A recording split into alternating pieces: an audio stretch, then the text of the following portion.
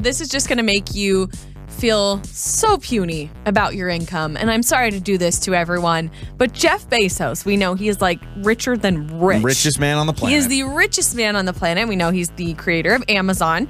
He bought the most expensive real estate in LA. So you're thinking, wow, okay, that's that's pretty expensive. It's in LA. It was 165 million dollars, Okay. the most expensive property in all of LA.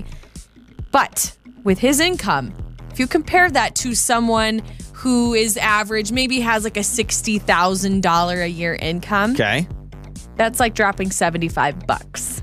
Seventy-five dollars. 75 Not seventy-five thousand. Not seventy-five hundred. Seventy-five Let that sink dollars. Seventy-five dollars. Jeff Bezos, one hundred and sixty-five million dollars to Jeff Bezos is equivalent to seventy-five dollars for someone who makes sixty grand a year. It's insane, man. It's disgusting. so that just shows you that was. I mean, that's no big. Because if you make sixty thousand a year.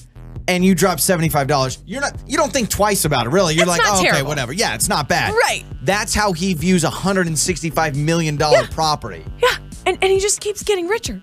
And I can't like it makes my stomach turn. I'm like, how that much money? You know what he should do if you were Jeff Bezos and you had a huge ego, which I don't know him, but I imagine Jeff Bezos has a huge But you, ego. you don't know yeah, Jeff Bezos. I don't. I don't. Never met him.